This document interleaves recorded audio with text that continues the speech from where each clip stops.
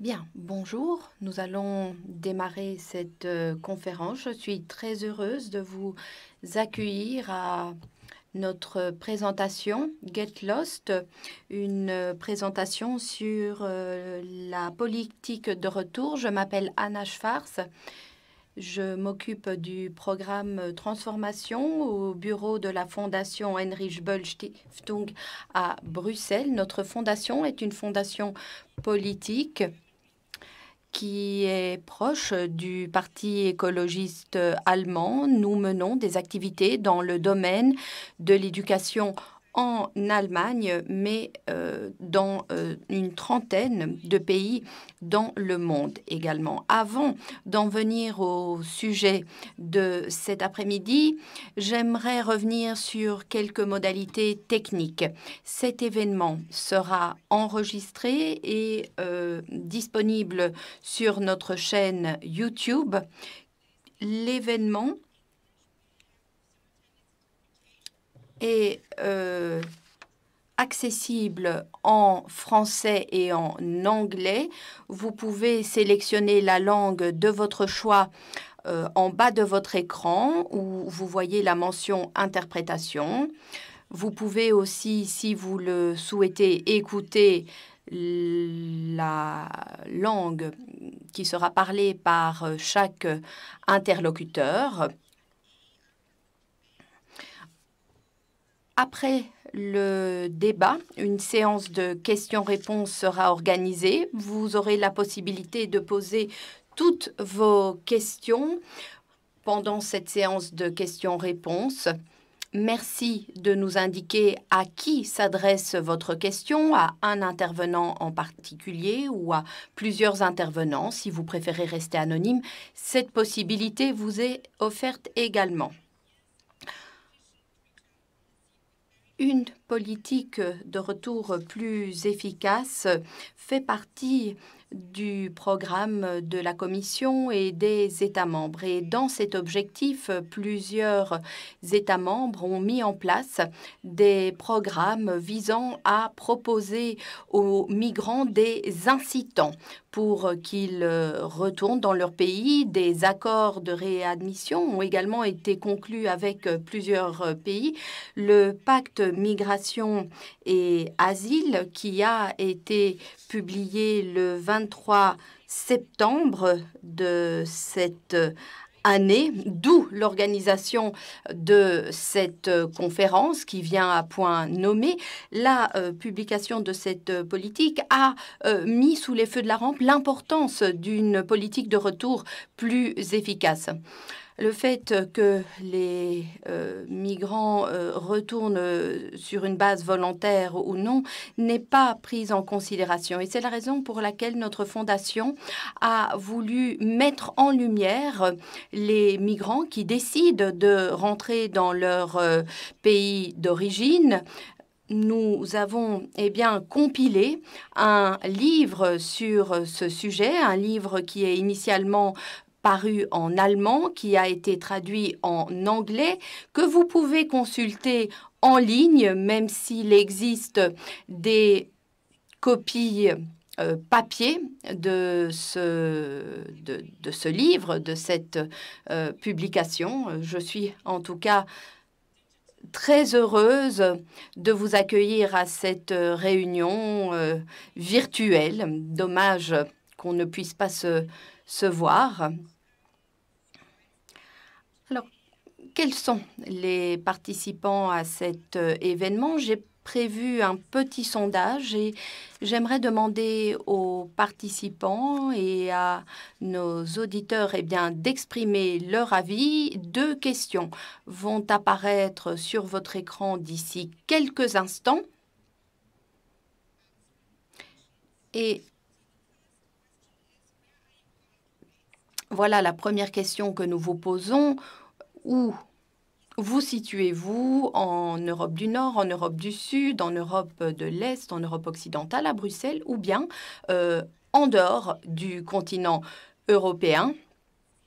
Et euh, malheureusement, les intervenants et moi-même n'avons pas la possibilité de euh, voter Je m'attends bien sûr à des réponses très diversifiées à notre sondage et je vois que le vote n'est pas terminé.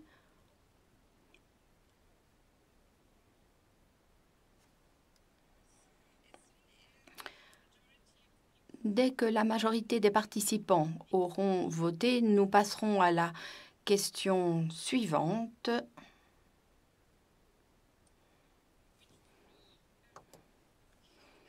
À savoir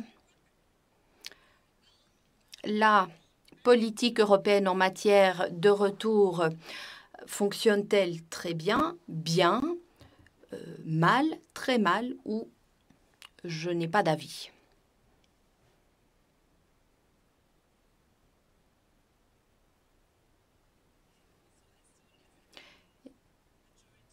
Et dès que la majorité des participants auront voté, les résultats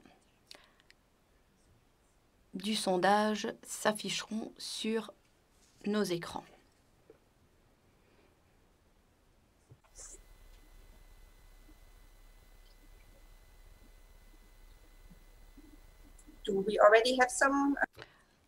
Est-ce que les résultats sont déjà disponibles?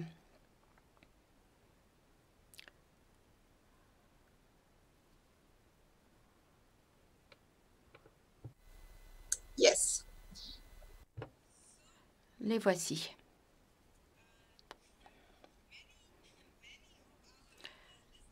Bien, je vois qu'une majorité de participants estiment que la politique européenne en matière de retour fonctionne euh, très mal. C'est l'avis de 44% des participants. 28% des participants estiment qu'elle fonctionne mal. 25% des participants n'ont pas d'avis. Et je pense que c'est un pourcentage assez conséquent. J'imagine qu'à l'issue de cette conférence, vous aurez certainement les idées un petit peu plus claires eu égard au fonctionnement de cette politique européenne en matière de retour. Alors, je ne sais pas si les résultats de la première question du premier sondage sont déjà disponibles.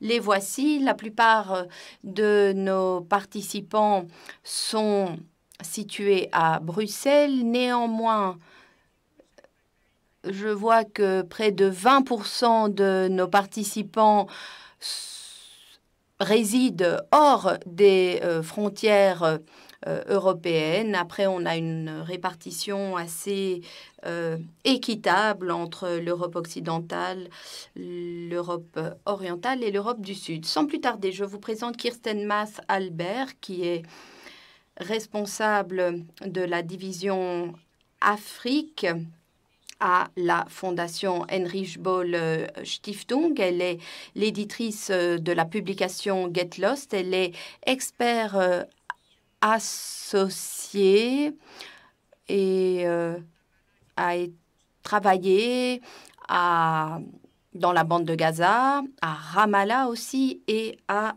Beyrouth. Vous avez la parole, Kirsten. Merci, Anna, pour euh, ces propos très aimables. Bonjour à tous. Bonjour et bienvenue à cette euh, conférence. Comme cela vous a été dit, je suis euh, située à Berlin. Je tiens à préciser que l'anglais n'est pas ma langue maternelle. Je suis germanophone. La publication Get Lost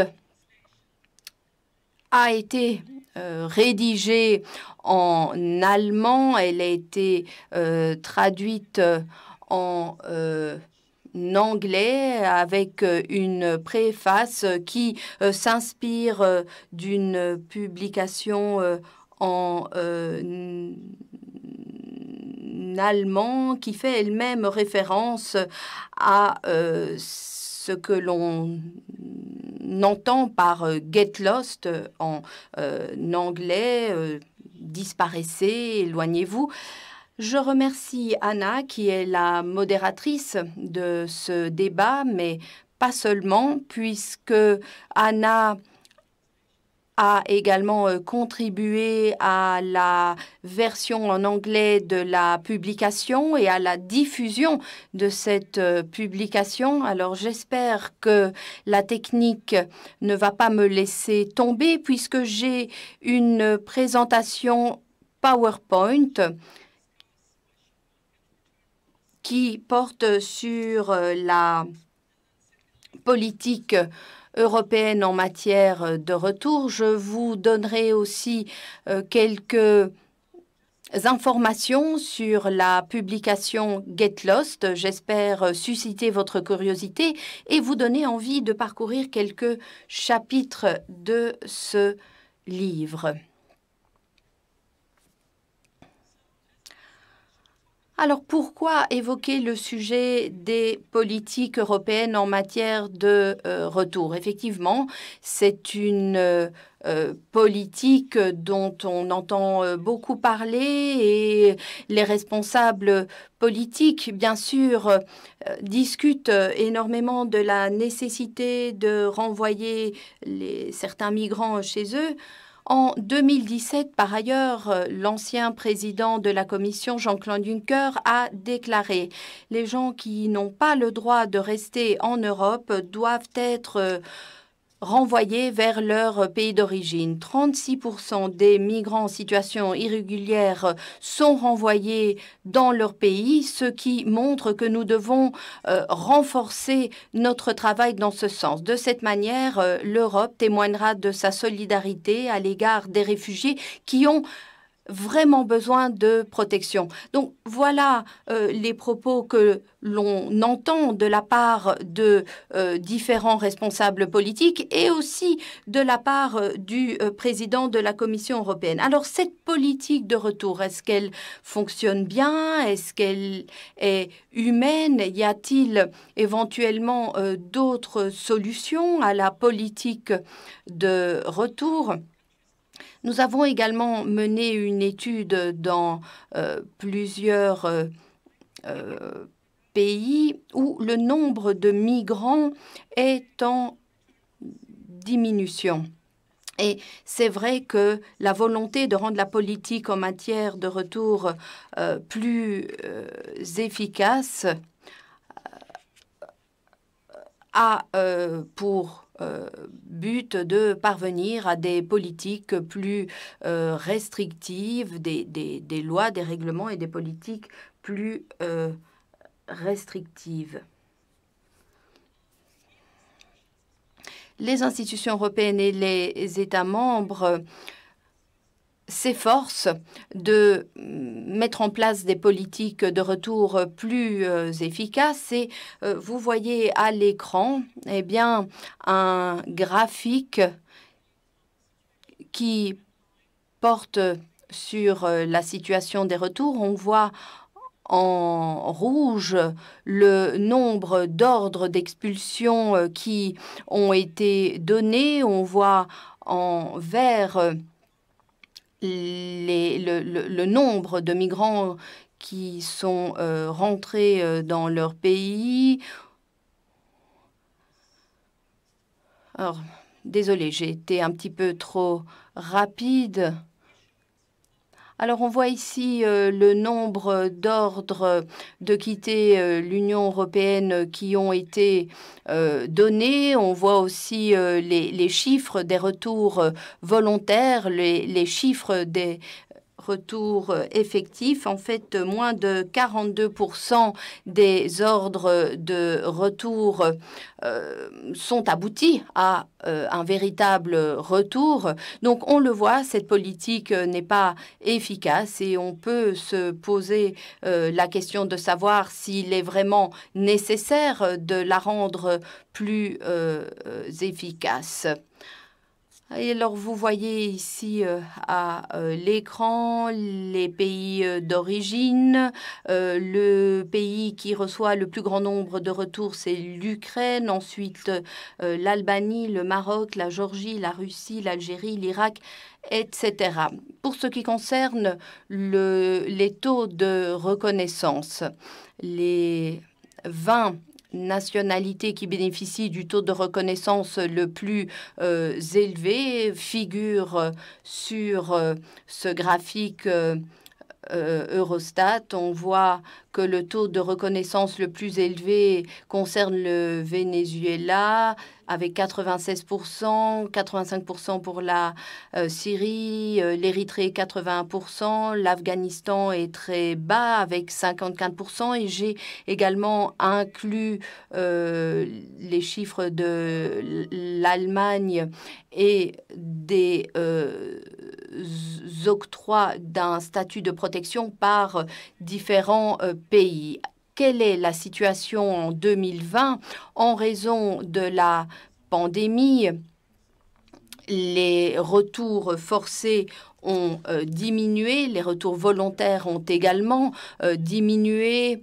Euh, pendant la première moitié de l'année 2020, le nombre de migrants qui sont retournés dans leur pays a baissé en flèche. Cela dit, on s'aperçoit que d'une certaine manière,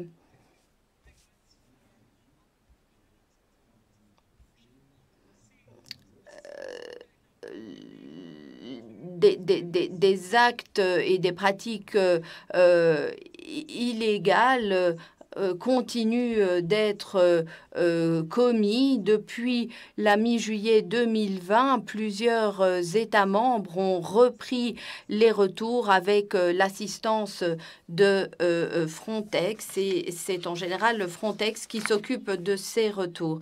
Le nouveau pacte en matière de politique migratoire et de politique d'asile euh, qui a été publié le 23 septembre. Alors beaucoup de euh, réactions, beaucoup de documents, de euh, commentaires sont parus à la suite de la publication de ce document. Ce pacte repose sur un nouveau mécanisme et, ça c'est la, la la grande euh, nouvelle. En fait, euh, moi, je euh, je, l'intitule le nouveau Kid on the Block. En fait, il s'agit d'une certaine manière d'un renvoi sponsorisé. Cette nouvelle réglementation prévoit que l'État membre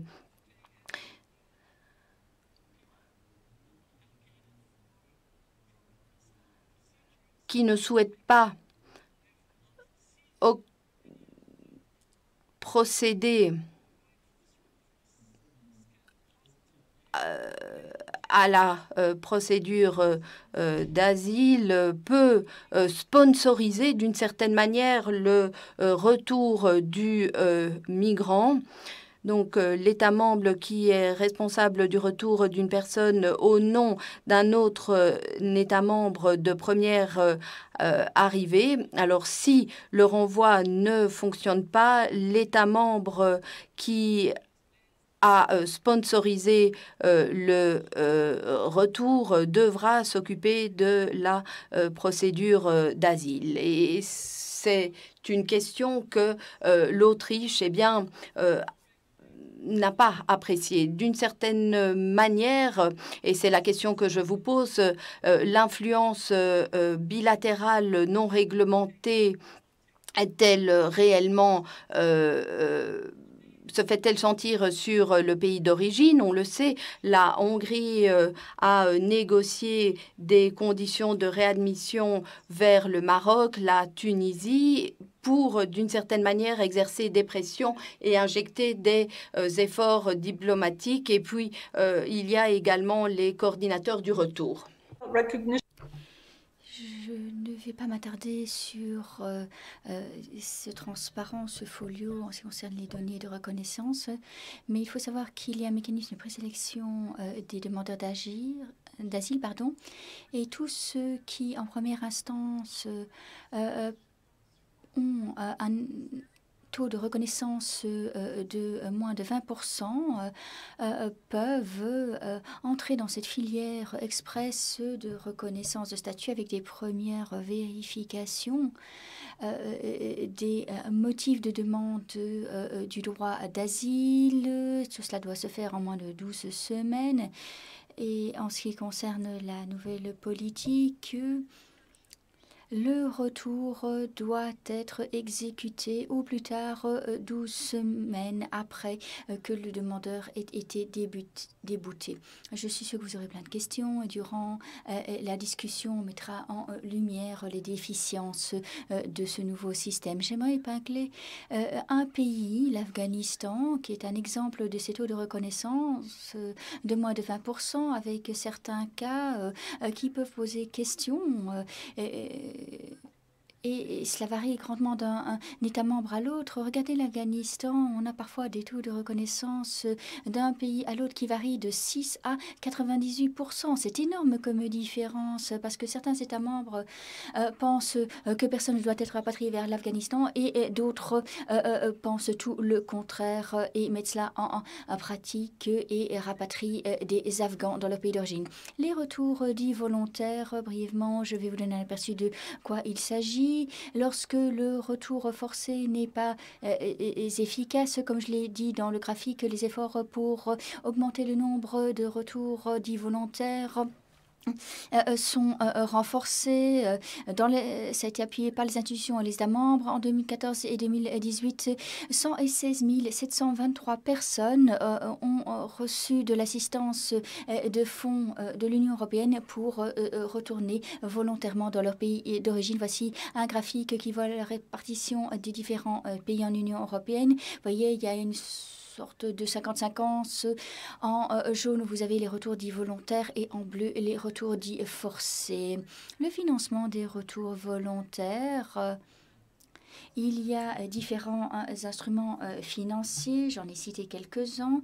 Je voulais tout simplement épingler, épingler le fait euh, que euh, dans notre euh, étude de mars 2019, retracer l'argent contre la migration, lorsque l'on retrace l'argent du traité sur le fonctionnement de l'Union européenne, on voit que 10% du financement est consacré à améliorer la coopération sur les retours et la réintégration durable des migrants en provenance de l'Europe et qu'un seul pourcent est consacré aux possibilités euh, de euh, migration.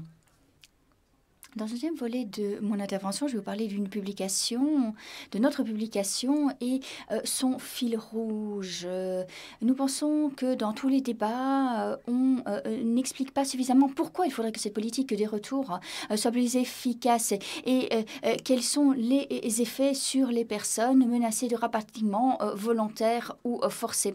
Nous sommes basés sur plusieurs études de cas. Nous avons demandé à nos experts de battre le terrain et à analyser euh, ce qui se fait donc euh, sur le terrain, euh, retrouver les personnes, étudier leur sort. Je pense qu'il y a un fossé entre euh, les différentes réalités, qu'on soit rapatrié vers l'Afghanistan ou la euh, Syrie, et euh, qu'on soit forcé de retourner dans d'autres pays comme le Sénégal, la Tunisie ou le Kosovo. On s'est attardé également sur les réalités de la réintégration dans les pays qui admettent leurs ressortissants. La migration, c'est la normalité.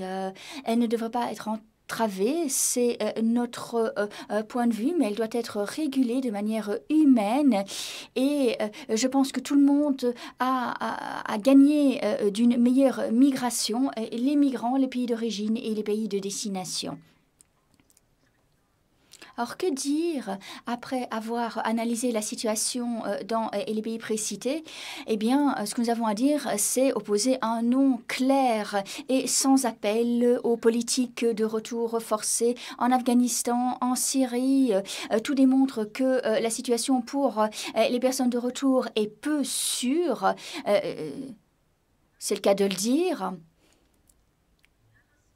Et toutes les analyses dans les États membres de la situation euh, sont insuffisantes. On a demandé à, à Stallmark, un ressortissant allemand mais euh, spécialiste de l'Afghanistan, c'est lui qui a rédigé l'analyse pour nous et, j'aimerais souligner que dans le chapitre consacré à l'Afghanistan, euh, l'auteur Ulrika a pu compiler des informations sur 47 des 512 euh, hommes, dans tous les cas, euh, issus euh, d'Afghanistan et rapatriés vers ce pays à partir de l'Allemagne jusqu'en 2019.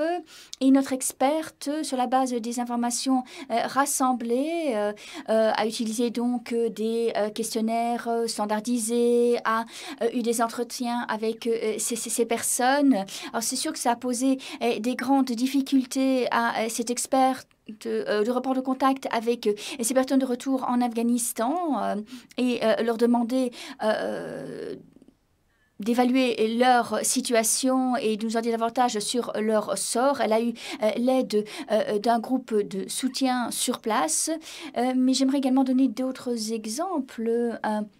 Euh, du vécu euh, de ces personnes de retour. Dans un cas, euh, les talibans avaient entendu parler du retour de la, de la personne qui a été kidnappée et maintenue en otage, détenue en otage pendant trois jours, torturée, mise sous pression pour rejoindre les rangs des talibans. Elle a pu s'enfuir. Ces dangers, malheureusement, sont une réalité au quotidien. Les 23 personnes de retour dans leur pays qui ont été interviewés, qui étaient encore dans leur pays deux mois plus tard, ont pu nous donner des informations. 34 euh, incidents violents et menaces euh, avaient été proférés à leur rencontre ou à l'encontre de leur famille après le retour. Et euh, dans 21 cas sur 23, eh bien, les personnes de retour restaient dans la clandestinité et continuaient à se cacher dans leur pays. Alors, la réalité nous force à lancer un appel à un débat réaliste sur le sort euh, de ces personnes renvoyées dans leur pays, forcées euh, de subir des menaces, des violences ou de vivre dans la clandestinité. Alors en Allemagne et dans d'autres États membres, il faut euh, s'interroger si dans un avenir proche, un retour en toute sécurité en Syrie sera possible. Parlons de la Syrie après l'Afghanistan, donc, et, même dans le cas de la Syrie, comme pour l'Afghanistan, nous nous opposons fermement à tout retour retour forcé. En ce qui concerne les programmes de réintégration, et, euh, bah, ils ont le mérite d'exister. Euh, qui peuvent aider ceux qui veulent, sur une base volontaire, retourner dans leur pays d'origine. Mais les programmes actuels ont encore besoin d'amélioration. C'est ce qui ressort euh, de nos analyses et cela ne fait pas un pli. La question principale que nous euh, soulevons après l'analyse des rapports nationaux est de savoir sinon les pratiques actuelles, si les pratiques actuelles, pardon, dans les États membres évalue véritablement le caractère volontaire de ces retours parce que dans pas mal de politiques, on donne comme option alternative au, retour forcé. Je suis désolée, mais le son est de piètre qualité. Ah voilà, le son nous est revenu. Je vais continuer donc la traduction.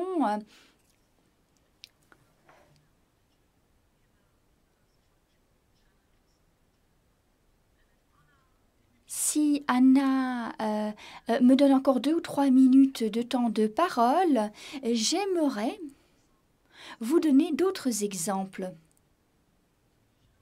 qui concernent la Tunisie, mais je ne sais pas s'il me reste encore un petit peu de temps imparti. Anna, merci d'éclairer ma lanterne. Kirsten, euh, oui, oui, si tu peux nous donner un petit commentaire très bref sur la Tunisie, ce serait parfait pour ouvrir le débat. Oui, oui, deux, trois minutes, pas plus, promis. Chacun sait que la Tunisie a vécu non seulement une révolution de l'intérieur, mais a également euh, vécu euh, une période de transition spectaculaire au niveau politique en ce qui concerne la migration Dans le chapitre consacré à la Tunisie, vous trouverez des chiffres qui indiquent euh, que même si euh, la Tunisie a bouclé la transition, le nombre de Tunisiens qui clandestinement euh, prennent le bateau vers Lampedusa ou la Sicile est en augmentation. Italie enregistre 500 59 Tunisiens euh, euh, rentrant sur le territoire en 2016. Euh, Ce chiffre en 2017 était passé à plus de 6 000 et à nouveau plus de 6 000 ressortissants tunisiens se retrouvaient sur les côtes italiennes en 2018. Qu'en conclure? Eh bien, les programmes de réintégration, même après la phase de transition en, Tunisie, sont toujours confrontés, butent toujours sur des problèmes structurels liés à la situation économique déplorable en Tunisie. Même après plusieurs années euh, de... Euh, d'augmentation euh, du nombre de migrants tunisiens, que dire? Eh bien, si ce n'est que la conjoncture économique en Tunisie ne fait qu'amplifier le phénomène. Mais je pense que j'y reviendrai plus tard. Dans votre économique, la grande majorité des Tunisiens ont plus de difficultés euh, que euh, sous la dictature. Après deux petites années, euh, l'économie a euh, progressé d'1,9%, voire 2,8% euh, respectivement en 2017 et 2018. Et les salaires réels sont en chute libre pour l'équivalent de 290 euh, euros en moyenne pour 2011, année de la Révolution. On est passé à 223, l'équivalent de 223 euros en 2017. Donc 223 euros ou son équivalent en Tunisie ne peut que susciter de nombreux nombreux rêves pour ceux qui euh, voudraient tenter leur chance en Italie ou ailleurs en Europe. Et dans les zones reculées de euh, Tunisie, euh, à 300 km par exemple au sud-ouest de la Tunisie, notre expert a rencontré pas mal de jeunes dans la ville de Catherine, les a interviewés et euh, il a pris ses notes. C'est dans le chapitre consacré à la Tunisie. Pour euh, de nombreux jeunes à Kasserine, l'alternative à, ISIS ou euh, Al-Qaïda, les deux groupes d'obédience islamiste qui opèrent dans la zone, donc au niveau de la frontière avec l'Algérie, bon, ces jeunes, ils sont désœuvrés, on les appelle des haragas ce sont euh, ceux qui euh, euh, ont brûlé leur passeport. Haraga signifie brûler en, arabe. Et les haragas, ce sont ceux qui ont brûlé leur papier pour pouvoir embarquer sur un, petit rafio de fortune et rejoindre les côtes européennes. Donc, en l'absence de papier, c'est très difficile de mettre en place une politique de retour, voire même une politique euh, de réadmission. Euh, une personne qui euh, revient en Tunisie après avoir fait un séjour en Italie ou en, Allemagne sans, papier n'a presque aucune chance sur le marché du travail. J'espère vous, avoir donné du grain à moudre, matière à réflexion en vue du prochain débat. merci de ce petit temps complémentaire. Oui, oui, de rien. Je suis sûre que cela nous a donné euh, matière à penser pour le prochain euh, débat. Nous allons passer à un orateur suivant, une oratrice, Tineke Strick, qui est membre du Parlement européen pour les Verts de la gauche néerlandaise. C'est la portrice euh, sur euh, les normes actuelles des programmes euh, de réadmission. Madame a donné une lecture in extenso du titre de Madame Trick. Auparavant, Madame Trick a été professeure associée de droit d'émigration à l'Université de Leiden. Elle a également été sénatrice aux Pays-Bas. Merci de nous avoir rejoints, Madame Strick. Merci, Tineke. Alors, euh, notre autre orateur est Francisco Cazzuele Metzgerit. Il est à la tête de l'unité euh, chargée de la migration clandestine et des politiques de retour auprès de la DG euh, Migration et Affaires intérieures de la Commission européenne. précédemment, il a été chef de l'unité pour l'agence MSF, une agence. Il a été à, la tête de l'unité Moyen-Orient et également euh, collaborer au sein du, euh, du cabinet de son pays, quelqu'un qui a donc une longue expérience. Nous sommes ravis que vous ayez pu aménager une place de plage de temps pardon, euh, pour participer au débat. notre troisième orateur au débat est M. Vaji Filali. Il est gestionnaire de projet migration et économie parallèle auprès de la fondation Anihbel. Avant de rejoindre notre formation, il a travaillé avec la Croix-Rouge tunisienne sur différents projets pour la protection et l'assistance aux réfugiés et aux demandeurs euh, d'asile en Tunisie. Merci à nos trois orateurs. Avant toute chose, euh, j'aimerais vous parler un peu plus euh, des défis que pose la politique actuelle en matière de retour. Et ensuite, dans un deuxième temps, durant le débat, je souhaiterais en apprendre davantage sur la façon dont euh, le nouveau paquet sur la migration et l'asile pourra euh, relever ces défis. Euh, monsieur Katselou Meskiritz, à la vue des chiffres présentés par Kirsten, la politique de retour en Union européenne ne semble pas être très efficace. Pourquoi? Et êtes-vous de cet avis? Pensez-vous également que cette politique manque? Que d'efficacité. Bon, je euh, euh, vais refiler euh, le blâme à mes prédécesseurs parce que c'était leur job. Non, non, non, je ne vais pas se faire. J'ai plusieurs arguments à présenter si euh, vous euh, euh, sondez ceux qui ont répliqué au questionnaire et qui ont dit que la politique ne fonctionne pas bien ou ne fonctionne même pas du tout, apparemment, c'est la majorité des répondants qui vous ont donné cet avis. alors, il faut tenir compte des différentes attentes. Alors, certains vont dire, ah oui, on rapatrie trop peu de personnes, c'est 30% seulement, c'est minable, c'est bien trop peu. Et puis d'autres vont vous dire, ah ben non, non, la politique ne fonctionne pas parce que on rapatrie trop de personnes. On éloigne trop de personnes. Euh, le rapatriement doit être fait de manière beaucoup plus euh, digne. Euh, ça commande plus de protection, notamment pour les Afghans. il faudrait peut-être cesser toute politique d'éloignement des Afghans, par exemple, ou de retour des, Afghans dans leur pays. Donc tout dépend des attentes placées dans la politique des, retours. Je peux pas vous dire euh, quelle est la perception euh, des, des, des, gens, mais, mais, mais selon moi, euh, je ne sais pas si cet avis est correct ou pas, mais je peux vous dire si ça correspond à la réalité. Regardez les taux de retour, et là, je pense qu'on a concordance. Je pense que ce taux n'est pas un bon indicateur, c'est un, un, indicateur parmi d'autres, mais ce n'est pas le meilleur.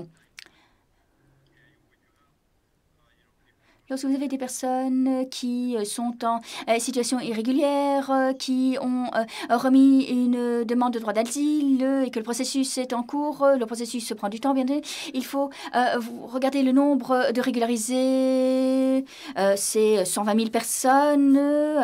si vous regardez que l'éloignement concerne 20-25 000 personnes, eh bien, quel est le taux de retour par rapport au nombre de demandes acceptées? C'est énorme.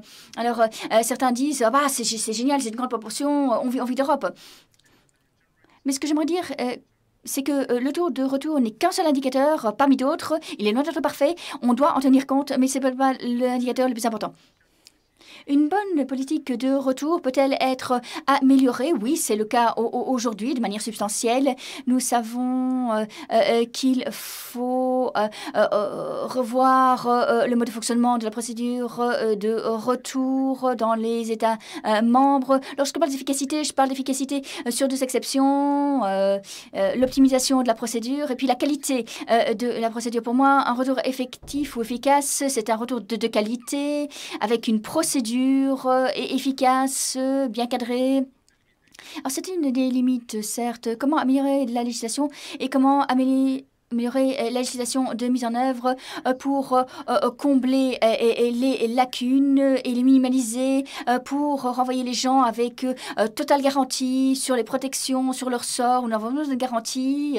Il y a des personnes pour lesquelles le pays de retour n'offre pas de garantie et dans leur cas, aucun éloignement n'est pratiqué, mais également il y a le problème de la réadmission avec coopération du pays d'origine qui est une autre procédure très importante, la coopération avec les pays tiers, euh, bien entendu. Hmm, vous savez, parfois, elle se passe très bien. Regardez avec les pays des Balkans, les pays euh, euh, d'Europe centrale et d'Europe orientale. Mais cette coopération est plutôt médiocre lorsque vous tenez compte de la plupart des pays africains ou d'Afrique du Nord, où la réalité, certes, varie grandement d'un pays à l'autre, où les retours de capacité, les capacités de retour varient grandement.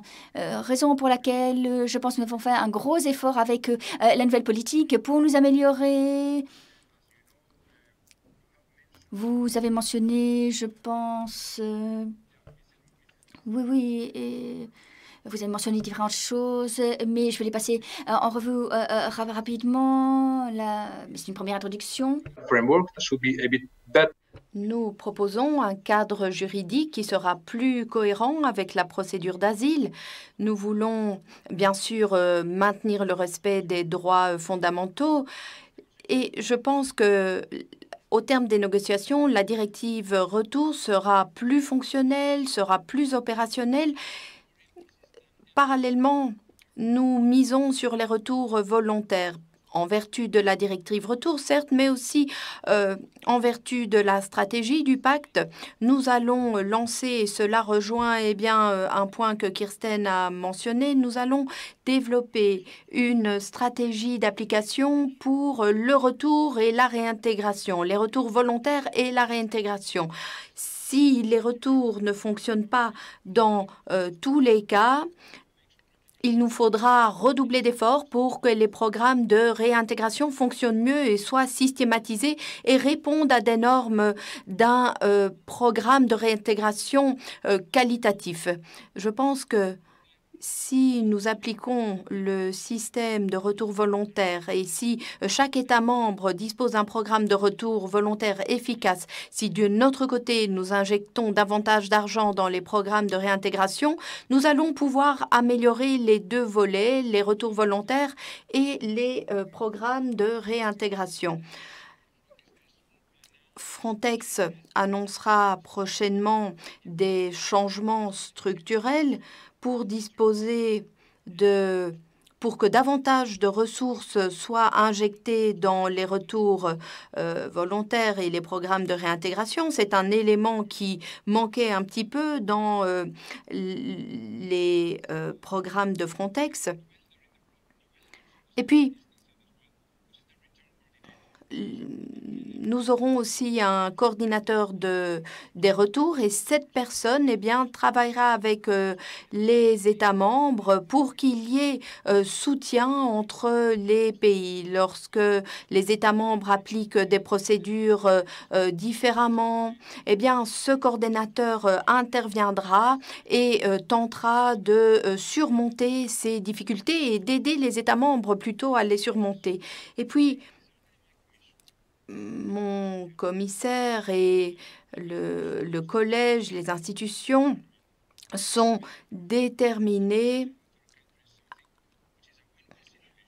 à parvenir à une situation gagnant-gagnant entre les États membres et les euh, pays où euh, les euh, migrants sont réadmis. Nous voulons mettre la priorité sur la migration volontaire et sur le développement économique des pays d'origine c'est un devoir qui nous tient à cœur, que nous devons accomplir parce que nous avons les ressources financières et nous devons investir davantage dans la réintégration, mais aussi dans le développement économique. Parce que lorsqu'un migrant retourne dans son pays, c'est la preuve qu'il y a eu euh, défaillance quelque part. Donc nous, voulons d'une certaine manière euh, réduire les, les, les, retours en établissant de meilleurs partenariats avec les pays d'origine. Et puis j'en viens aussi à la Tunisie qui, qui a été brièvement présentée. Nous disposons d'un accord avec la Tunisie Bien sûr, euh, la euh, pandémie et la situation politique en Tunisie a euh, nous a obligés à interrompre les négociations d'un euh, accord de réadmission avec ce pays. L'objectif est de faire en sorte que cet accord de réadmission fonctionne mieux, mais bien sûr, nous devons euh, tenir compte de l'impact de la pandémie sur euh, un tel pays. Nous nous rendons bien compte que dans ce genre de situation, il faut être très prudent et très diplomate à l'égard des pays tiers.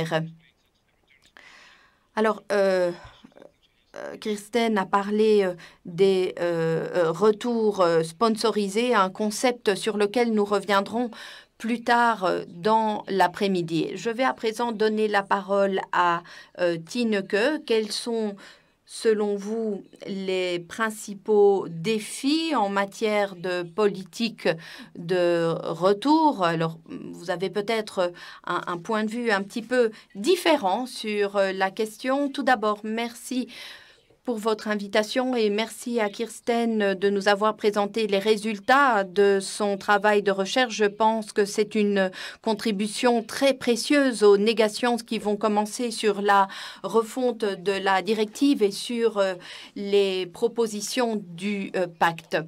Bien sûr,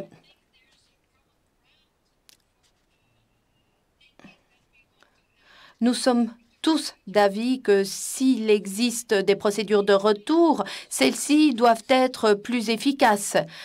Il est euh, tout autant nécessaire de mettre en place les conditions de dignité, de sécurité, de euh, respect des droits humains. Mais se pose la question de savoir pourquoi la politique de retour n'est pas efficace. Monsieur Meskiris a dit qu'il ne s'agissait pas uniquement euh, qu'on ne mesurait pas l'efficacité du programme sur la base du taux de retour, qu'il fallait aussi tenir compte des conditions de dignité, de sécurité et de pérennité des euh, retours.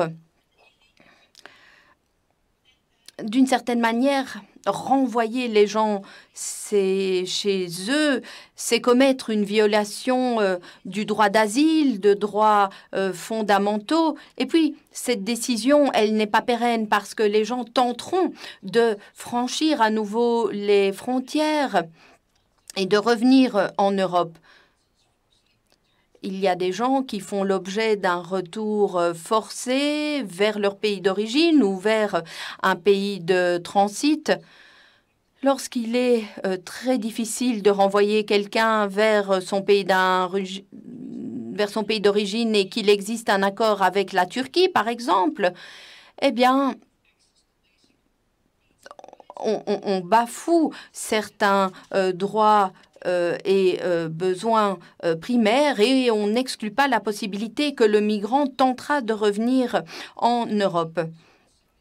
Et je pense que le taux de retour volontaire est également décisif. Il faut voir à quel point les gens sont disposés à rentrer dans leur pays et la proposition de la refonte de la directive pose, selon moi, certains problèmes.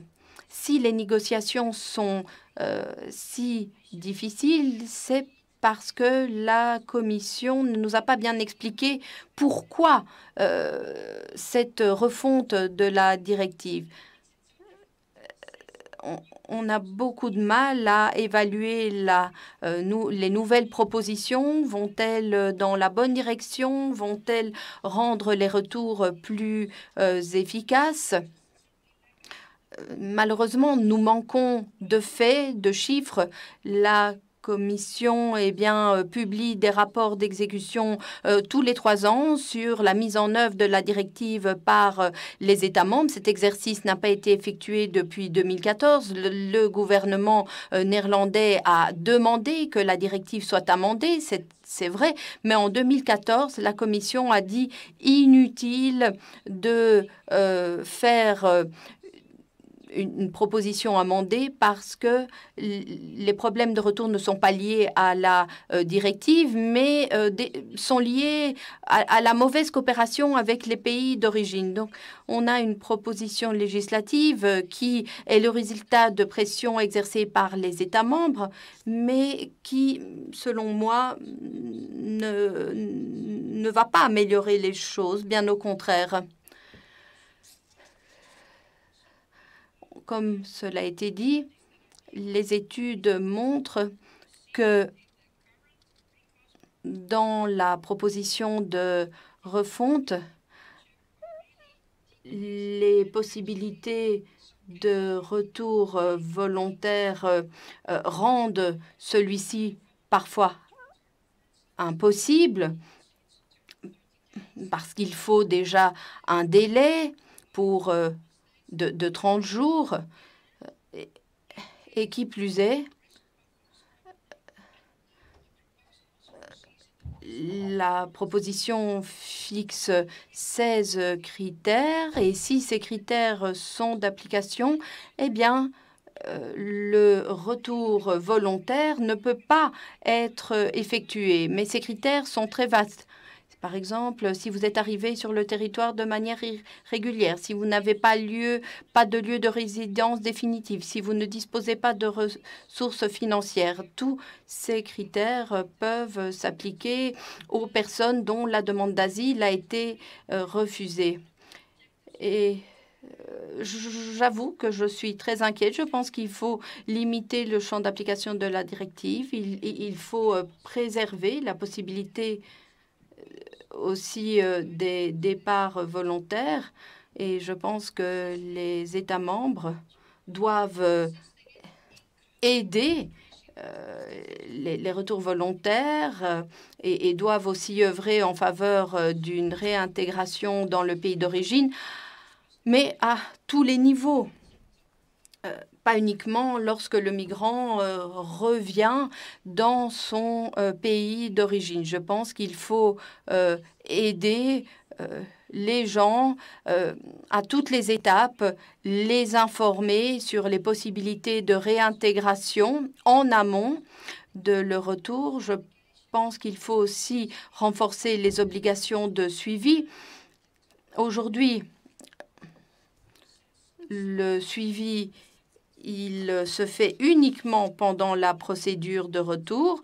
Je tiens à ce que cette procédure soit plus transparente et que le suivi couvre également la période de post-arrivée dans le pays euh, d'origine, s'assurer que les conditions de sécurité, de dignité soient euh, remplies et pour que la Commission puisse éventuellement euh, renforcer les garde-fous.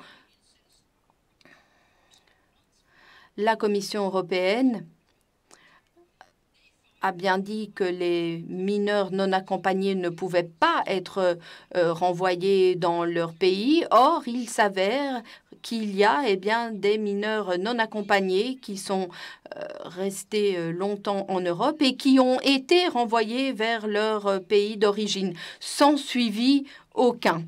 Et je pense que là, notre responsabilité est engagée, y compris après euh, le retour du migrant dans son pays. Voilà, j'aurais encore beaucoup de choses à dire, mais on peut en reparler peut-être plus tard. Je pense que dans un premier temps, il faut identifier les problèmes et si on veut être euh, plus efficace, il faut aussi œuvrer à la euh, dignité des personnes et à leur sécurité et peut-être parvenir à une évaluation commune de la situation dans certains pays pour que tous les principes de dignité et de sécurité soient rencontrés. Notre fondation dispose d'un département affaires étrangères et euh, vous avez déjà évoqué la question de la réintégration et c'est le sujet euh, que je voulais euh, soulever, la question que je voulais poser à Wajdi.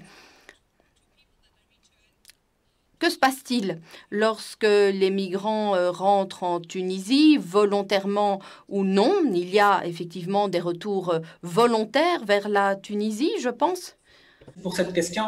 Euh, en fait, euh, pour répondre à la question, euh, je parlerai du soutien du gouvernement, qu'offre le gouvernement aux personnes de retour, mais aussi je, je parlerai aussi du soutien de, l'Union européenne et, des programmes de, réintégration. En fait, pour faire simple, ben, en rentrant en Tunisie, la personne qui a, qui a, qui a retourné, en fait, elle, va, elle va être généralement arrêtée euh, à l'aéroport en Tunisie. Euh, normalement, peut-être qu'elle sera euh, quelques jours en prison, peut-être qu'elle payera, elle sera obligée de, payer une amende, ou, ou tout simplement qu'elle va être fichée et elle va être fichée tout simplement et interrogée. en fait, elle, est, libérée ensuite. Alors, dans la publication de, Get Lost, en fait, dans la partie où, où Schmidt parle des, euh, des jeunes à, à en fait, euh, il, euh, il, mentionne une, agence, en fait, commissionnée par le, GIZ. L'objectif de cette, agence de consulting, en fait, est de, conseiller le Tunisien de, retour par rapport aux, chances de travail, par rapport aux formations, par rapport aux possibilités de créer des projets propres à eux. Euh, malheureusement, cette, agence, petit à petit, elle, s'est transformée, elle, est un peu sortie de, sa mission principale, euh, c'est-à-dire que désormais, les, gens, les jeunes, ils s'adressent à cette agence pour avoir, pour savoir, pour avoir une idée sur les, opportunités de travail en Europe et du coup pour migrer euh, en Europe de façon régulière. Alors du coup, on ne parle plus d'une réintégration au sein du pays, mais en fait de moyens alternatifs plus régulière pour revenir en Europe en fait. Un deuxième, un deuxième projet, un projet qui est assez, euh, qui est assez grand, le projet LAM. En fait, l'objectif de ce projet, de, ce projet est de renforcer euh, la capacité des institutions étatiques tunisiennes, mais aussi de la société civile à la réintégration des, euh, des, Tunisiens de, retour, en fait. Et, et dans le cadre de ce projet, euh, je pourrais dire que euh, selon, selon le site web euh, LEM, il y a 91 Tunisiens qui ont été encadrés. Ces 91 Tunisiens sont issus de quatre régions de la Tunisie. la lacune avec ce genre de, de, programme est qu'une partie des, revenants ben, cherchera, une partie de revenants seulement sera intégrée de son programme parce qu'on ne peut pas obliger les, gens à intégrer ce genre de programme de réintégration, d'une part. Euh, d'autre part, le, pourcentage de, succès d'une personne qui va suivre le, cursus n'est pas très élevé. Euh, même les personnes qui vont suivre le cursus, il y a ceux qui, vont, qui ne vont pas achever le cursus, il y a ceux qui auront derrière la tête une idée de, de lancer le projet, une première partie, et ensuite de liquider le projet, collecter l'argent et tenter encore de nouveau euh, le fait de, voyager grâce à cet argent qu'ils ont, qu'ils ont reçu pour lancer leur, leur projet. Alors, juste un, dernier point par rapport à ça, en fait, il y a une, dans le cadre de, du projet LAM, encore une fois, il y a eu une, cartographie des programmes de réinsertion qui ont vu le jour en Tunisie. Euh, il a été euh, recensé 14 programmes de réinsertion qui ont été créés conjointement par les États membres de l'Union européenne, tels que l'Allemagne, la Belgique, la France, la Suisse, l'Espagne et bien évidemment l'Italie. Alors, le, ce qui en sort, ce qui en sort de, ça, c'est que les aspects les plus assistés au retour euh, sont principalement les soins médicaux, l'aide à la création d'activités génératrices de revenus et euh, l'aide à, l'emploi.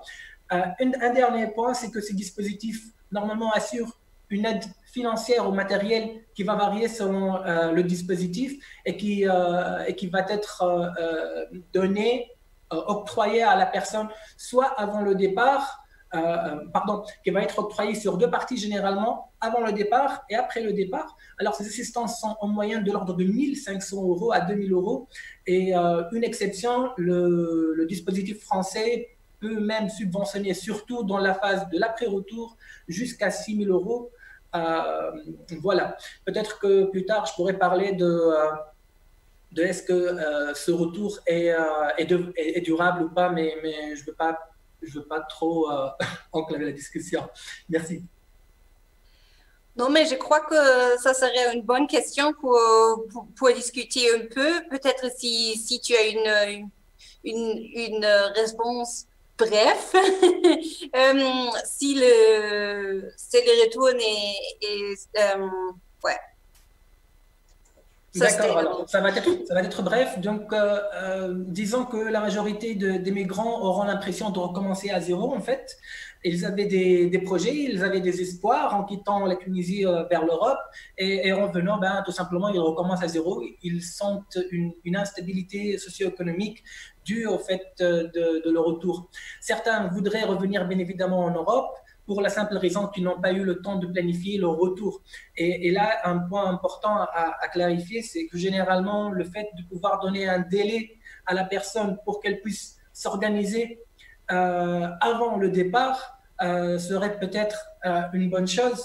selon une étude qui a été, qui a été menée par, par Reach, euh, un échantillon de, migrants tunisiens de retour a dit que, a dit que euh, en fait, ces personnes qui, revenaient généralement, ou euh, pour une partie d'eux au moins, ils ont été notifiés de la décision de, de, réadmission le jour même de leur réadmission. Et du coup, ça veut dire qu'ils n'avaient pas la possibilité de s'organiser de n'importe quelle façon.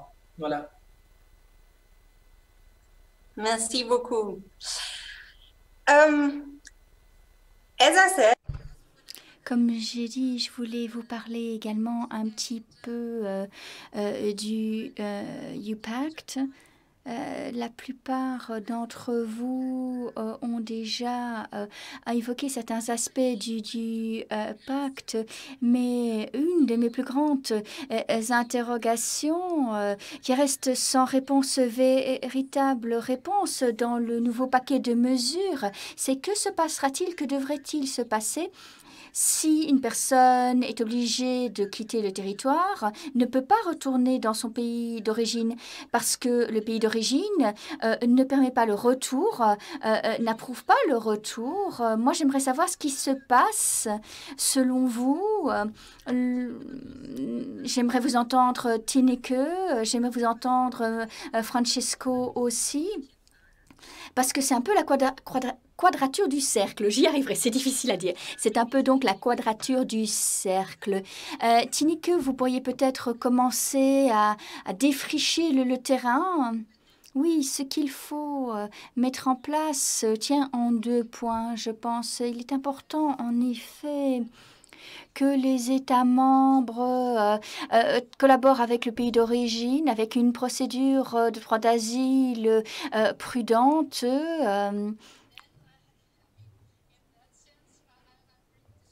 Et en ce sens, euh, euh, euh, le nouveau paquet proposé me déçoit parce que la question se posera toujours dans les pays frontaliers. Ça va avoir un impact sur la décision, la procédure d'octroi du droit d'asile. Il faut un bon partage de responsabilités pour que la procédure la décision relative au droit d'asile soit efficace, ne prenne pas trop de temps. C'est très important.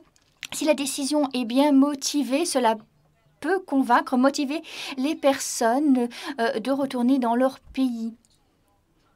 Mais pour ça, la procédure ne doit pas être trop longue. Vous avez parlé euh, du degré de préparation du pays d'origine lui-même.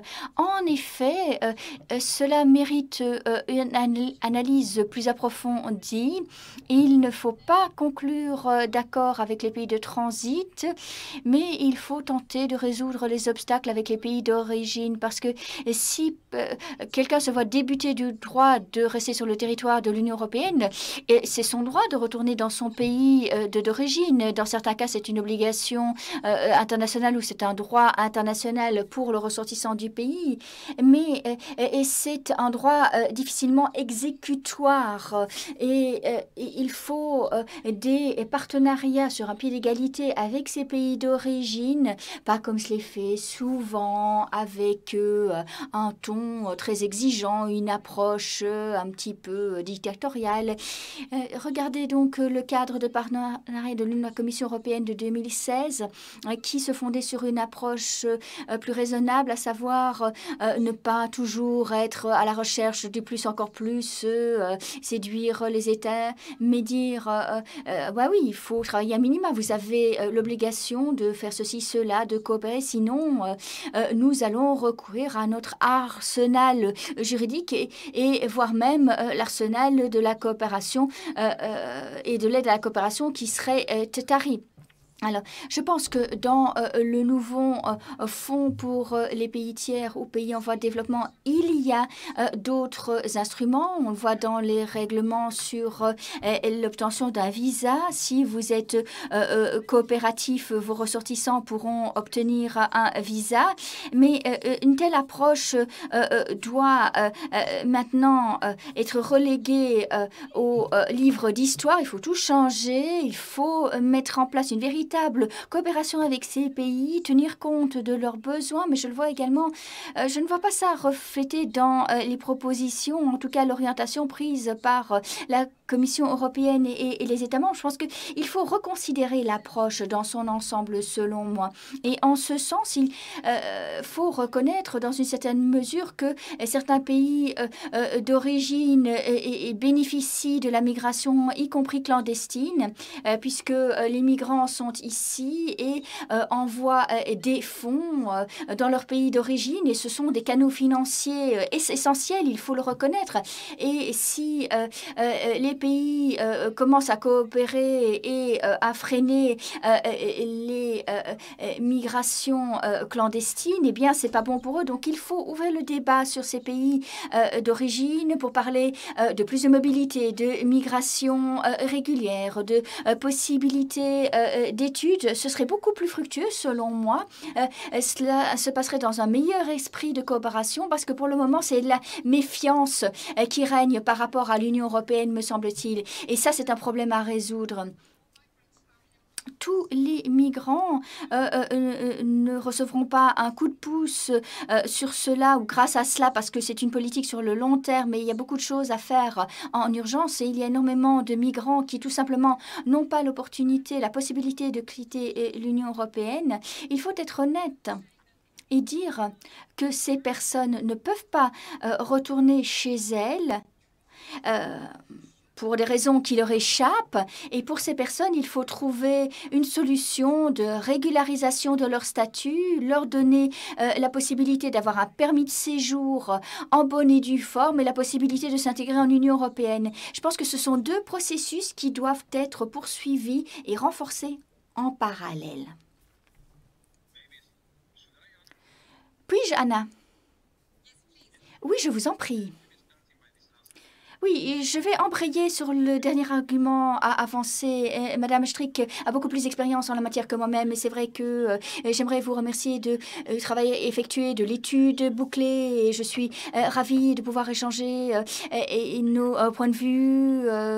Et, bien entendu, je pense que, comme vous, j'appelle à des avancées, des meilleures informations sur la diligence, des procédures plus courtes, plus rapides. Donc, merci d'avoir rappelé ces arguments Euh, et nous avons déjà une directive euh, en matière de, retour. Euh, revenons au contexte légal. L'article 6 de cette directive permet déjà aux États membres de euh, euh, publier ou d'octroyer des permis de résidence à titre exceptionnel pour certains migrants. Tout le monde n'a pas droit à ce type d'arrangement parce qu'il y a des migrants qui n'ont pas la possibilité d'exercer leur droit et leur droit à retourner dans le pays d'origine. Donc, dans ces cas spécifiques, la possibilité existe déjà pour les États membres d'octroyer un permis de résidence à titre exceptionnel.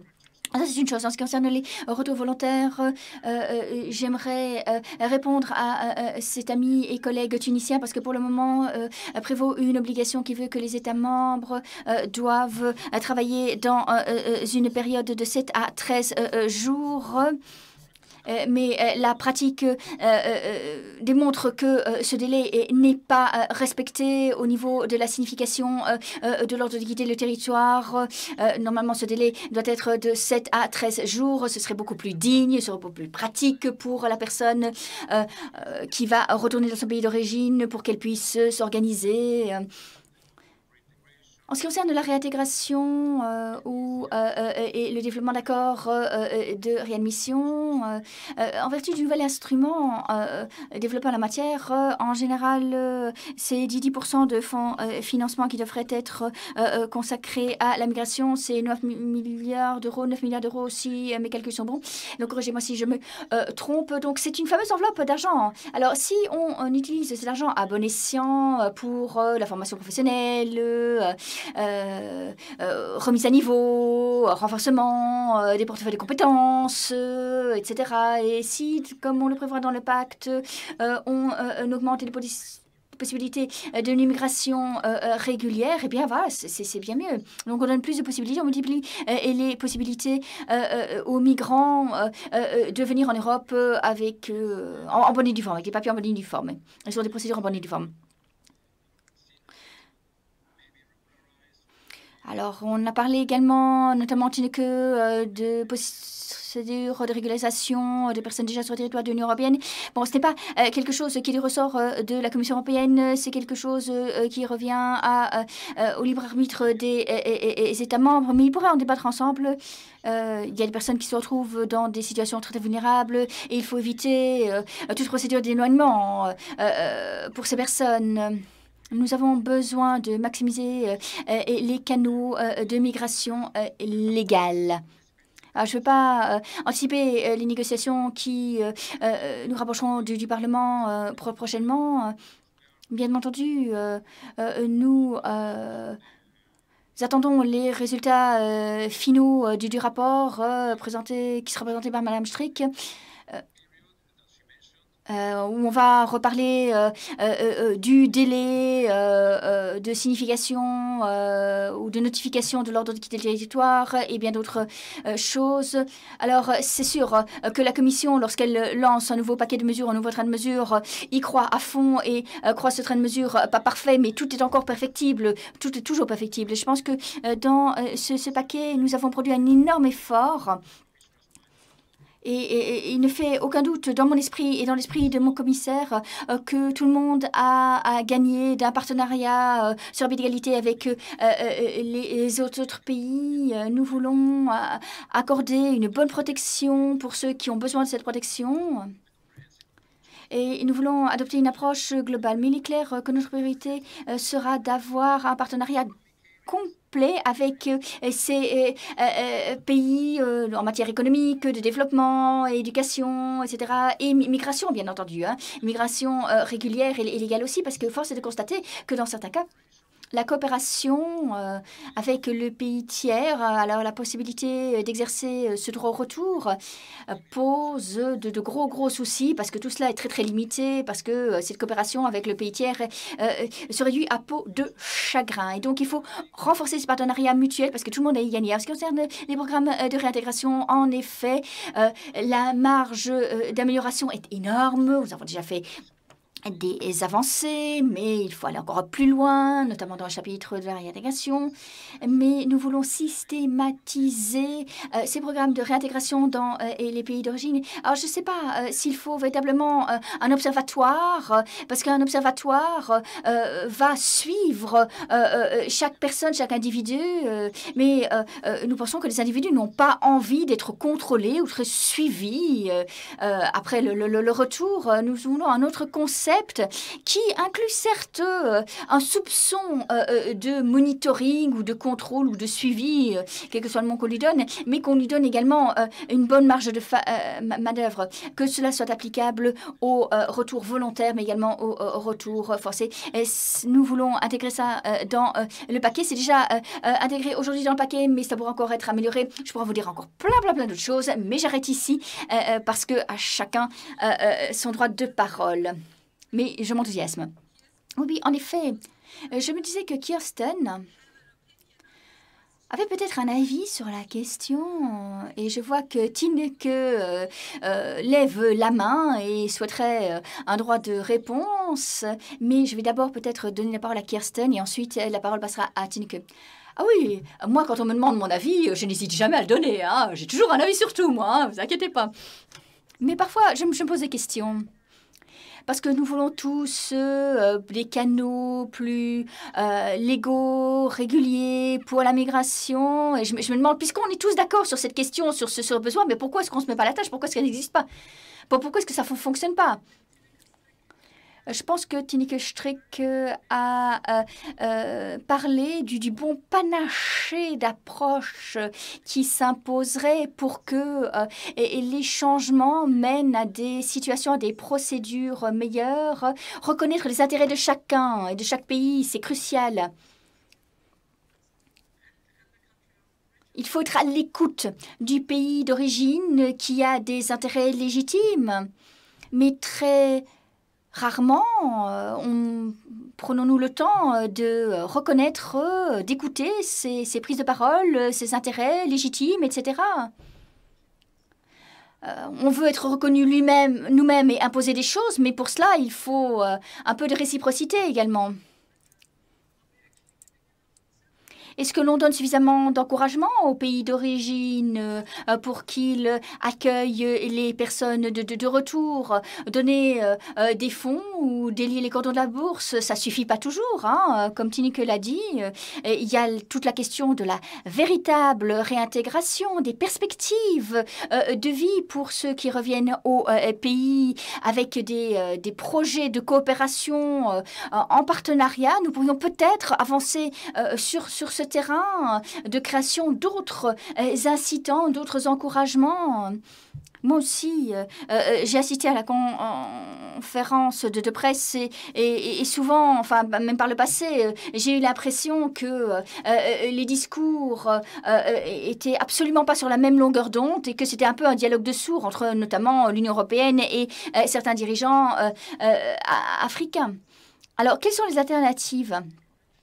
Mentionné euh, à juste titre par euh, Tineke, euh, bon, il ne faut pas que euh, la situation empire, qu'on fasse pire que, que, bien. Regardez euh, euh, ce qui se passe sur l'île de Lesbos et, les pratiques grecques qui ont été tolérées, etc.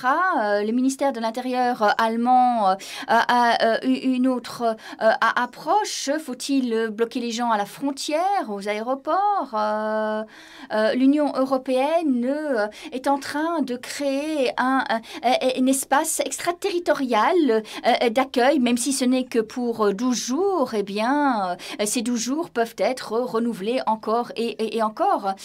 Ça, ce, sont, ce sont des pratiques très douteuses d'un point de vue légal et, juridique et, ne sont pas les seules. Le, scannage, le, la procédure de présélection, est-ce véritablement raccord avec la Convention de Genève? Regardez ce qui se passe en Italie, en, Grèce. Il nous faut, à mon sens, analyser la situation de plus ample détail afin euh, d'en revenir plus clairement à nos obligations euh, euh, juridiques en matière d'accueil. Je suis sûre que la Commission européenne et ses services ont tenté de rendre leur texte tout à fait conforme, mais, je pense qu'une analyse plus en profondeur est de mise. Tineke. Droit euh, de réponse. Oui, oui, je voulais euh, euh, répondre, réagir à ce qu'a dit Francesco. C'est vrai que la directive en matière de retour permet la possibilité d'octroyer un permis de résidence à ceux qui ne peuvent pas retourner au pays. Mais euh, en plus du rapport euh, euh, de la Commission, nous nous sommes fendus notre propre rapport et il émerge de notre analyse que les États membres font rarement utilisation, usage de cette possibilité. Est-ce qu'il faut laisser les États membres décider librement ou ne devrions-nous pas avoir une politique uniforme pour traiter des dossiers de ceux qui n'ont pas la possibilité de retourner au pays? Il ne faut pas euh, contraindre euh, les personnes à un, vide juridique euh, où il serait euh, un peu euh, entre deux eaux, entre euh, une impossibilité de, rester sur le territoire de l'Union européenne et une impossibilité de retourner au, pays. alors c'est sûr que les États membres sont très jaloux de cette prérogative, mais, mais je pense qu'il faudrait ouvrir le débat sur une politique uniforme en matière de traitement des dossiers de ceux qui ne peuvent pas retourner au pays juridique et, qui se retrouve donc dans un, vide juridique. Et je suis tout à fait en phase avec ce qu'a dit euh, euh, Kirsten. Alors, euh, si on veut une migration et des canaux de migration réguliers, en bonne et due forme, etc., si on est tous d'accord sur ça, mais, mais pourquoi s'y met pas, quoi? Il faut euh, euh, des régularisations pour, et, des canaux de migration euh, pour les travailleurs, pour les réfugiés politiques, etc. Je pense ici qu'on a manqué le coche.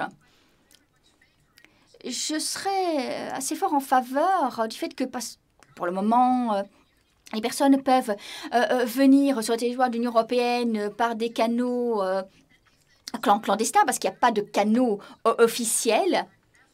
Et une fois qu'ils sont déboutés, qu'ils se voient signifier l'ordre de quitter le territoire, ils n'ont plus aucune possibilité de revenir. Ils sont interdits sur notre territoire.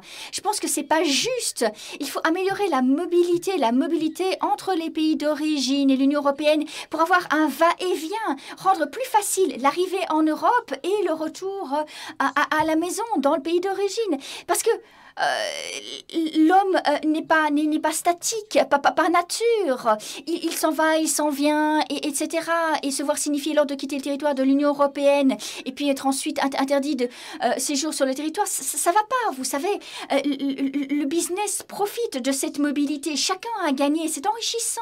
Et il n'y a aucune possibilité de, canaux multidirectionnels, je, dirais. Alors, dernier point, dernier argument de ma part, c'est la La conditionnalité, c'est pas la même chose que euh, l'exhaustivité. La conditionnalité, c'est une approche différente. La conditionnalité, c'est quand euh, on décide, on euh, utilise nos encouragements et on exerce pression pour qu'ils fassent ce, ce qu'ils veulent. Et c'est pas du tout la même chose que l'exhaustivité. Je pense que, comme l'a dit Kirsten, il faut être plus à l'écoute, plus à l'écoute des autres pays pour comprendre leur perception, leur, leur vision, leurs intérêts et ne pas euh, euh, tout, tout, mélanger. Alors, euh, nous avons nos objectifs en matière migratoire et nous en faisons une priorité au détriment d'autres objectifs de développement, de droits humains, de commerce et, etc. Et, tous ces objectifs doivent être poursuivis sur un pied d'égalité, pas parallèlement, et ne pas donner la priorité avant tout euh, à la migration ou au refus de la, migration. Parce que ça, c'est être très égoïste et ne poursuivre que nos propres euh, euh, intérêts et à long terme, nous en serons perdants. Nous avons reçu une remarque dans la messagerie. C'est une remarque qui nous vient d'un participant tunisien qui nous dit, et je vais lire le commentaire en français. de retourner, étant donné que la confiance avec les États d'origine est rompue. Le renforcement du retour, euh, euh, de retour volontaire n'est pas un détournement d'État européen du vrai problème, tel que la démocratie, l'État des droits dans le pays d'origine, etc. Donc, c'est un peu un comment. From my point of view, it's a little Bon, je, pense que c'est une, question qui est un petit peu euh, rhétorique, mais, mais en tout cas, c'est un bon commentaire. Alors, il ne nous reste que très peu de temps et nous n'avons pas parlé de partenariat de retour, nous n'avons pas parlé non plus d'accord de réadmission. Alors, très brièvement, si je puis encore euh, vous demander quelques instants de, patience avant de conclure notre euh, après-midi, je vais demander à Vajdi d'être très bref, mais de nous faire part de son opinion sur le sujet. Euh, final, euh, alors je voudrais juste souligner le fait que la Tunisie est le premier pays à coopérer avec les autorités italiennes concernant le retour forcé devant le Nigeria et l'Égypte, avec en 2019 par exemple 1345 personnes renvoyées, dont 56 vols euh, charter. Et les chiffres euh, par rapport, à, par rapport à, cette année, en fait, euh, les chiffres du 1er janvier 2020 jusqu'au 15 avril 2020, en fait, il y a eu, malgré euh, la pandémie, 7 vols avec 85 personnes qui ont été renvoyées vers, vers la Tunisie. Les, autres panélistes ont parlé des, des, accords de réadmission et des partenariats de mobilité. En fait, je voudrais juste euh, souligner un fait que euh, la Tunisie est en, est en discussion euh, en fait, par rapport au partenariat, de, partenariat pour la mobilité et, et les accords de réadmission sont une partie de ces partenariats-là.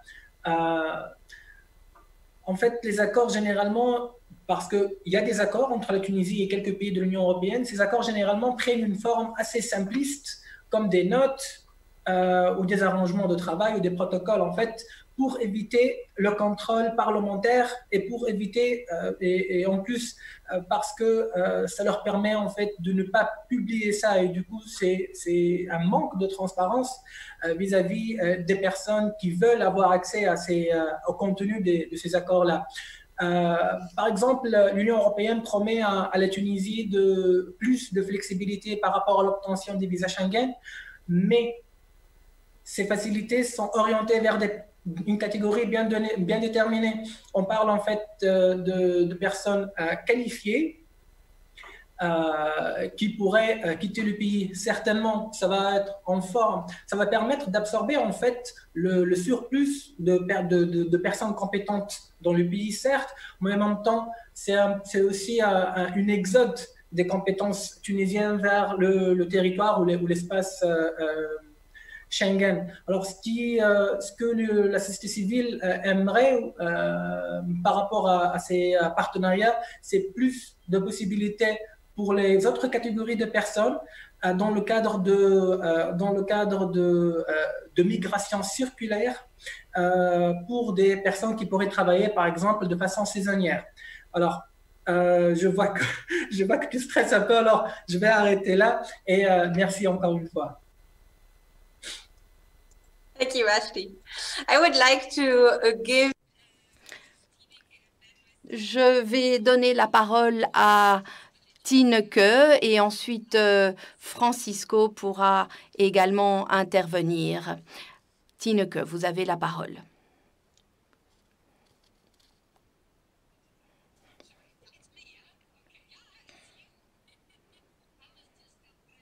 Voilà, désolé, j'avais un petit souci avec mon micro, dit Madame.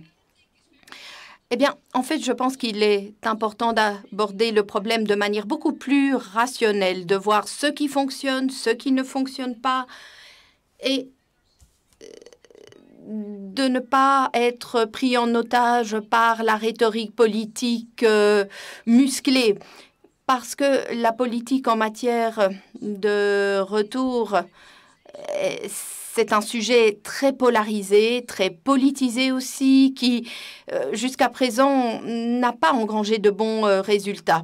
Je pense qu'il faut aussi euh, agir sur la base de la proportionnalité pour les migrants, éviter toute répression, respecter les principes de dignité humaine, respecter aussi les principes d'un partenariat d'égal à égal avec les pays tiers. Et puis, il nous faut aussi effectuer des contrôles, des suivis, se fonder sur les chiffres, qu'il s'agisse des retours, mais aussi des programmes de coopération avec les pays tiers. si un accord est conclu, une évaluation d'impact devrait être menée en amont parce que les migrants pourraient se retrouver coincés dans des pays de transit. Je pense que euh, ce qui doit primer avant tout, ce sont les droits humains et la dignité humaine, ainsi que ce principe de proportionnalité. Merci. Alors, euh, il y a encore une question qui nous est parvenue. Est-ce que vous souhaitez y répondre, euh, Monsieur Meskiris, ou est-ce que vous préférez qu'on vous l'envoie pour que vous puissiez y répondre ultérieurement? Eh bien, nous vous enverrons cette euh, question, Monsieur Masquiris, pour que vous puissiez y répondre euh, ultérieurement. Alors, quelques euh, mots de conclusion. Je pense que il, est évidemment important de dépolitiser ce débat, de supprimer toute rhétorique polarisée. Pour ce qui concerne la Commission, et pour ce qui concerne l'utilisation des, des, programmes de visa. En vertu de la nouvelle proposition, il y a deux possibilités qui existent. Tout d'abord, accorder un meilleur traitement en matière de visa aux euh, ressortissants des euh, pays tiers euh, si tous les critères sont rencontrés. Donc, ces deux possibilités existent mais bien souvent, on ne considère que le volet euh, négatif de la médaille. Or, il y a des possibilités qui euh, existent. Alors, la, Commission a toujours été à l'écoute des euh, pays tiers. Il n'y a aucune autre institution qui le fait de la même manière. Nous avons toujours été à l'écoute des stratégies et des souhaits des euh, pays tiers, la conditionnalité n'existe pas. Par contre, dans le cadre du partenariat, nous allons être à l'écoute des pays tiers, de la Tunisie notamment, mais nous leur demandons eh d'être à notre écoute euh, aussi. Et puis, une toute dernière chose, parce que je sais que nous avons dépassé le délai imparti, si nous lisons le texte présenté par la Commission, et je ne vais pas entrer euh, dans les détails de la légalité ou non euh, de euh, ce texte, qui nous avons veillé eh bien, à combler toutes les lacunes, bien sûr. Mais si l'on se penche sur ce pacte, il y a toute une série de propositions pour améliorer euh, la politique en matière de migration, euh, la migration euh, circulaire notamment, et toute une série de mesures d'application prévues par le pacte feront l'objet d'un suivi par la Commission. Et de cette manière, je pense que la migration légale pourra être beaucoup mieux gérée. J'ai été à l'origine du nouveau cadre qui a été lancé il y a 6-7 euh, ans, euh, mais le, le, le, le, nombre de personnes a euh, augmenté énormément. Alors, on ne peut pas dire que des progrès n'ont pas effectué. Bien sûr, il faut renforcer le travail et faire en sorte que cette politique de retour soit de meilleure qualité. Kirsten, vous avez ouvert notre réunion. Je vais vous demander euh, d'adresser quelques, de prononcer quelques mots de, conclusion avant que je ne clôture la conférence. Eh bien, je vous ai écouté euh, très attentivement. N'oublions pas que nous parlons de personnes, de leur sort, de leur destin. Et euh, cette euh, étude m'a donné à moi-même et à mes collègues ainsi qu'à mon entourage une euh, meilleure compréhension de la vie, de la réalité vécue euh, par euh, ces, ces, gens, ces, humains. J'ai appris beaucoup de choses grâce, à eux. J'ai appris beaucoup de choses de leur pays. Il y a dans le livre des, des photos qui illustrent le texte. Et pour Francisco et Tine que dit. Il faut élaborer des politiques intelligentes. C'est la seule voie à suivre euh, pour euh, rencontrer euh, nos aspirations.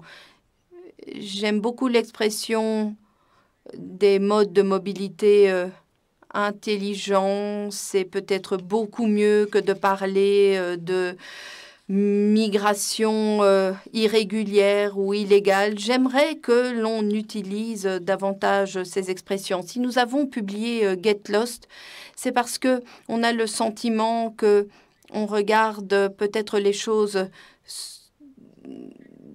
sous un angle de vue et les gens finalement deviennent des chiffres. Bien sûr, euh, euh, les chiffres sont importants pour parvenir à des résultats, mais n'oublions pas qu'il s'agit de gens et euh, j'aime beaucoup l'expression des modes de mobilité intelligents. Tineke disait que la Commission avait peut-être raté une chance je pense qu'il euh, faudra que ce document fasse preuve d'une grande ouverture euh, à l'égard de la réalité extérieure. Euh, ce, document est peut-être trop tourné vers vers la Commission, vers euh, euh, la tendance euh, populiste, vers la, crise, vers les, les, peurs des populations. Je pense qu'il faut adopter une autre mentalité, utiliser d'autres expressions et j'espère que ce débat n'est que un nouveau point de départ. Merci pour vos interventions, merci pour les questions que vous avez posées. Et je suis certaine que ce n'est pas le dernier débat sur euh, le sujet dont nous avons parlé. J'espère vous revoir très bientôt à l'occasion d'un débat ultérieur. Je remercie les intervenants. Je remercie aussi l'équipe de support euh, technique. Je remercie Anya et Johan, mes collègues qui euh, travaillent euh, ici en coulisses et qui ont eu un rôle très précieux. Je remercie, dit Madame, euh, les deux interprètes euh, qui nous ont aidés à surmonter la barrière euh, de la langue. Il ne me reste plus qu'à vous souhaiter une belle après-midi et à vous dire à bientôt. Okay, thank you also. Bye. Thank you. Thank you, Anna. Thank you very much. Bye.